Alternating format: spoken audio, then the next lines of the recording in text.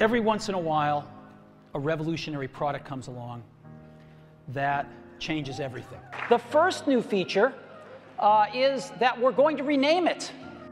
Hi guys and welcome back to my channel. Today we are embarking on an epic journey through the evolution of iOS, from its humble beginnings as iPhone OS 1.0 to the cutting-edge advancements of Apple Intelligence. We will explore the coolest features, groundbreaking updates and even some of its fails. This is a story about almost two decades of continuous iOS evolution. Sit back, relax, hit the subscribe button and let's get started. Let's begin with the foundation of the iOS we know today, the original iPhone OS, released in 2007. This OS introduced us to the revolutionary multi-touch interface and the iconic grid of apps on the home screen. Interestingly, when the iPhone was initially released, there was no official name for its operating system.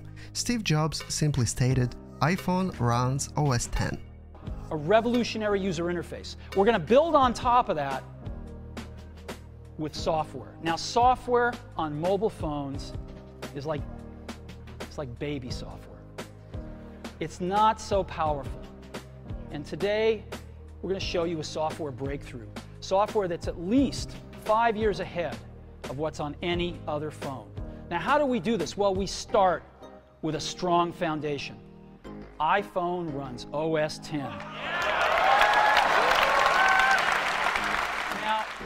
The iPhone OS also introduced the classic skeuomorphism design concept, where elements in user interface are designed to resemble their real-world counterparts in appearance and functions. For example, the Notes app is designed to look like an actual notebook. Although basic by today's standards, the iPhone OS 1 set the stage for mobile computing as we know it. With apps like phone, mail and music, iPhone OS redefined what a smartphone could be. The first version of the iPhone OS was so basic that it didn't even have the copy-paste feature. Do you remember the excitement of sliding to unlock for the first time? 2008, iPhone OS 2 introduced App Store, a groundbreaking marketplace that unlocked the potential for third-party applications. This huge update revolutionized the iPhone, transforming it into a versatile and entertaining device. The App Store opened an infinite array of possibilities at your fingertips. Moreover, enhancement to stability and performance further solidified the iPhone's reliability. It also introduced push email, allowing for real-time email notifications. Contact search made finding people in your address book easier iPhone OS 2 was the moment when iPhone really started to flex its muscles as a platform. However, it still lacked a copy-paste feature. In 2009, iOS 3 introduced features we can't live without today. Copy and paste, MMS for multimedia messaging, and Spotlight Search for finding information quickly.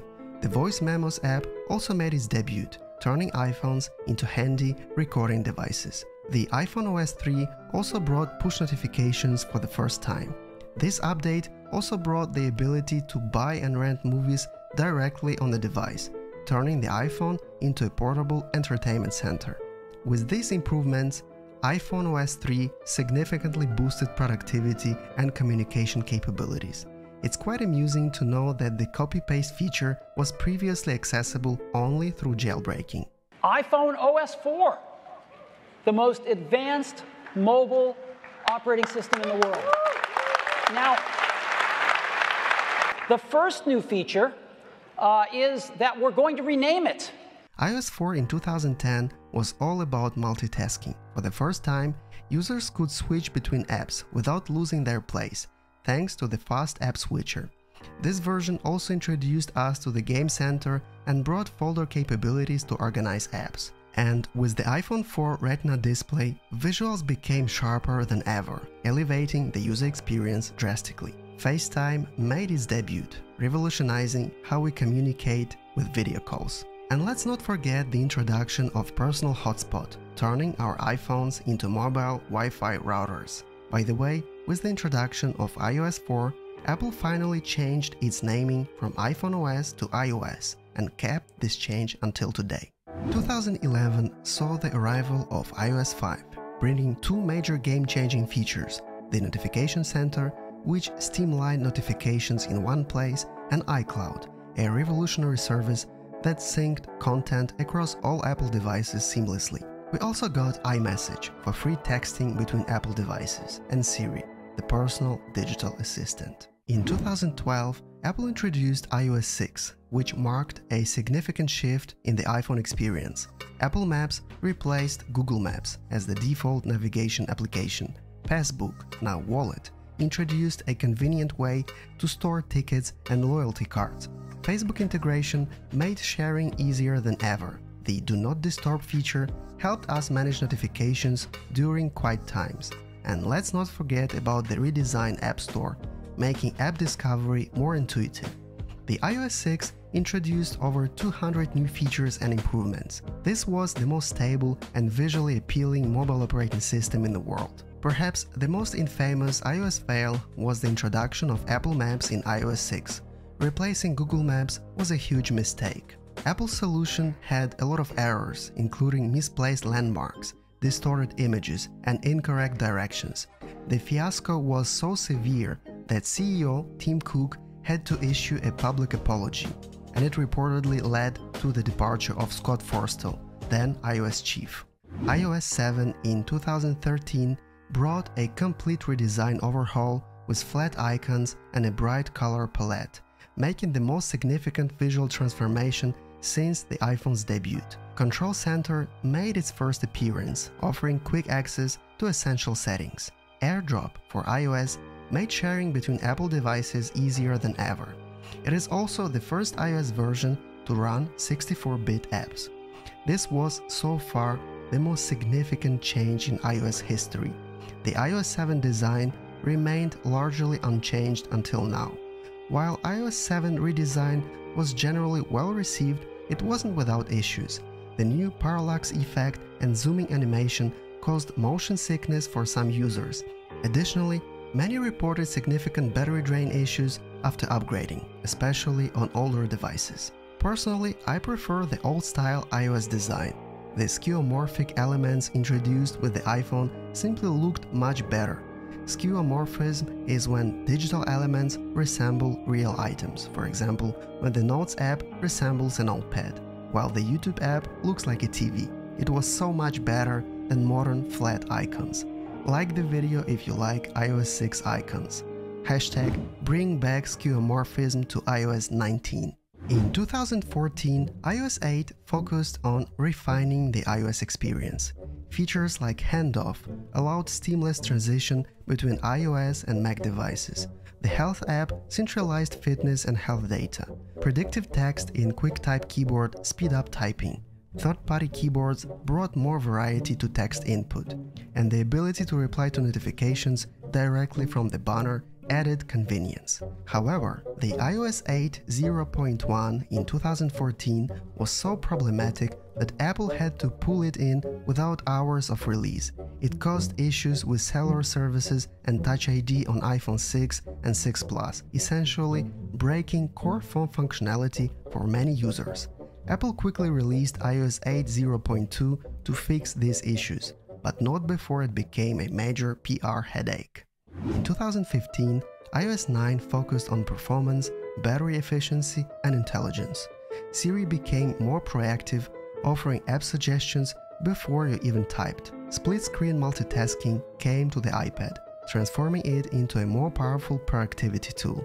The News app made its debut, offering a new way to stay informed with personalized articles. Low power mode helped extend battery life when needed. Interesting fact the iOS 9 finally killed the iPhone 4S. It was so sluggish and laggy that using the device became almost impossible. This was the worst iOS update ever, at least from my perspective. iOS 10 in 2016 brought a major update to messages, making it more interactive with rich links, stickers and animations. The Home app unified smart home controls, allowing users to manage all their smart devices in one place. Raise to Wake brought a subtle yet significant improvement, making it easier to access your phone on the go. The Photos app gained object and scene recognition, and the lock screen became more functional with rich notifications and widgets. Overall, it was a good update, but there was one change I did not like. The iconic swipe to unlock gesture was gone. It was replaced by pressing the home button. I hated this change. In 2017, the iOS 11 was a leap forward with the introduction of ARKit, bringing augmented reality capabilities to the iPhone and iPad. iOS 11 was all about productivity, especially for iPad users. The Files app finally brought a proper file management system to iOS. Drag and drop functionality made moving content between apps easier. The App Store got a complete redesign, focusing on app discovery, do not disturb while driving, improved safety on the road, and the control center became customizable, allowing users to add their most used toggles.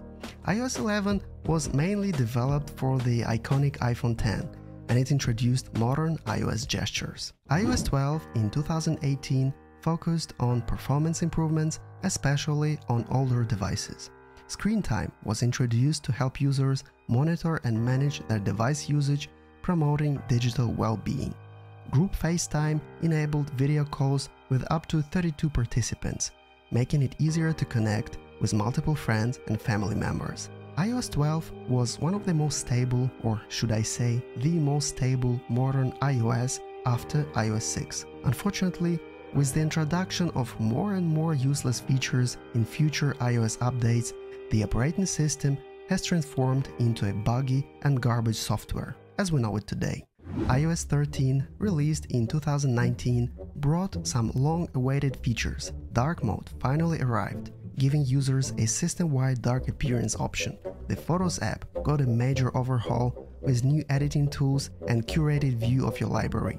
The Reminders app was redesigned with more powerful features, and the new swipe keyboard made one-handed typing easier than ever iOS 13 also marked a split between iOS and iPadOS, making them two separate operating systems, although it's still pretty much the same thing. In 2020, iOS 14 reimagined the home screen.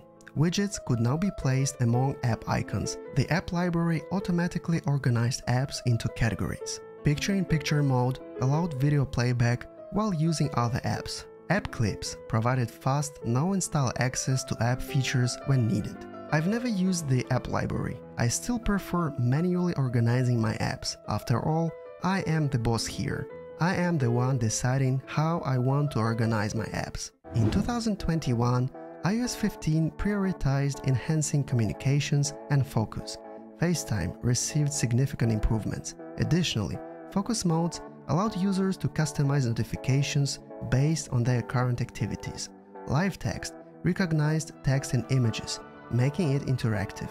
The Weather app got a beautiful redesign with more detailed information, and enhanced privacy features gave users more control over their data. In 2022, iOS 16 brought more personalization to iOS. The lock screen become customizable with widgets and new font options. The iCloud shared photo library made sharing family photos easier. Messages gained the ability to edit and unsend recent messages. The Fitness app became available to all users, not just Apple Watch owners, and passkeys began to replace traditional passwords for more secure sign-ins. I was always a big fan of simplicity and efficiency, and I absolutely hated the customization options of the home screen. At this moment, I felt like iOS was transforming into colorful garbage for primary school students. iOS 16 was also extremely buggy, at least in my case. In 2023, the iOS 17 introduced interactive widgets allowing users to perform actions directly from the widget without opening the app. The standby mode turned your iPhone into a smart display when charging, displaying useful information like time, calendar, and widget data. AirDrop improvements, including the ability to share content by just tapping phones together. iOS 17 was a very stable system. The iOS 18 introduced dark style icons and even more customizable control center. Finally, iOS 18 in 2024 brought advanced AI integration throughout the system, making Siri more intuitive and contextually aware. Apple introduced its own AI model, called Apple Intelligence. When I first heard of this naming, I thought it's a joke. Apple is the only company in the world capable of calling AI Apple Intelligence. Can you imagine Amazon creating a product called Amazon Intelligence? Well, I'm a huge fan of Apple Intelligence and I found it very useful. However, I didn't like the new control center and dark icons. I don't know why. Everything is messed up, some icons are white while others are black. It looks terrible. Apple Intelligence includes advanced writing tools that are powered by AI, including rewrite and proofread. By the way, I'm already using these features when writing this text. Apple Intelligence can also be used to generate images on device with the Image Playground app. Users can also create original Genmoji images by typing descriptions. Another useless feature for primary school kids. Siri, Apple's virtual assistant, has been updated with enhanced capabilities made possible by Apple Intelligence. Unfortunately, Apple Intelligence is limited only to the latest iPhone 15 Pro models and future, more expensive iPhones. So if you have a regular iPhone 15 or 14 Pro, you can already throw it into the garbage. If you want Apple Intelligence, you need to buy a new iPhone. And there you have it, the incredible journey of iOS from its day one to the cutting edge Apple Intelligence. It's fascinating to see how far we've come in just 18 years from basic phone functions to having powerful AI computers in our pockets. Which iOS version was your favorite? What features do you hope to see in future updates? Let me know in the comments below. If you enjoyed this video, don't forget to like and subscribe. Thanks for watching, peace. Tell me a joke. I thought I spilled coffee all over my keyboard. But it turns out, it's all under control. Tell me a joke. How should you address an alligator in a vest? Investigator.